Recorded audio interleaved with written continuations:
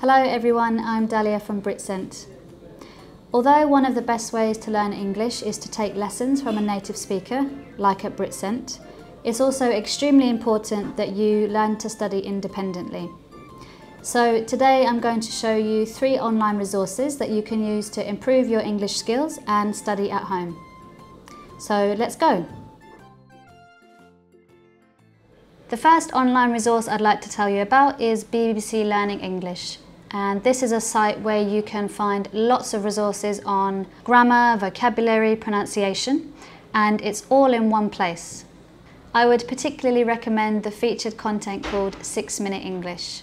However, if you really work through BBC Learning English and you work through all their lessons, you should find yourself improving in no time. If you want to be a bit more practical with your pronunciation practice, then check out a site called Youglish. The name of the website is a portmanteau of the words YouTube and English. Basically, if you want to know how a word or a phrase is used by a native speaker, then you can type it in here and it will search YouTube videos where those words or phrases are used in a natural context.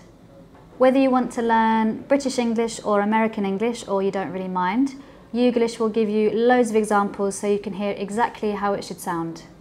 Let's say, for example, you've learned the phrase bloody hell. When you type this onto Youglish, you will find lots of examples and videos of native speakers saying bloody hell. Daunting, because people say, bloody hell, mate, I haven't got time to get fit. Bloody hell, that's a great handle, John.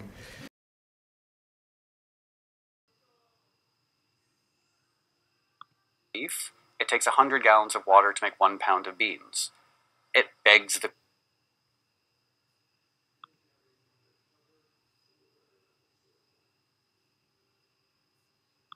You go to a mikveh, you immerse yourself in the water.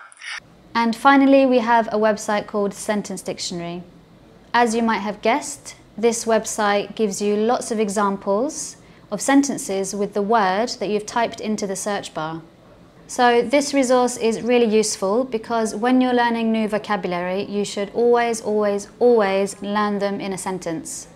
This is because words in your native language and words in English will not mean the same thing every single time. It usually depends on context, especially with English. So the more time you see a word in a sentence, the deeper your understanding of that word will be.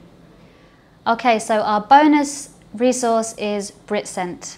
If you go over to our channel, you'll find lots of different resources on how to improve your English and life in the UK.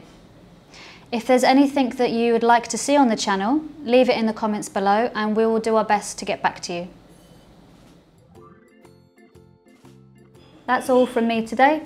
Remember, if you'd like to improve your English skills and you'd like some help, sign up to BritCent. We offer one-to-one -one courses, both online and face-to-face. -face. We also offer high quality editing services and Korean to English translation. Thanks for watching and I'll see you later. Goodbye. Can I say peace? Yeah, you say peace. I say peace. Okay, I, yeah. I do that.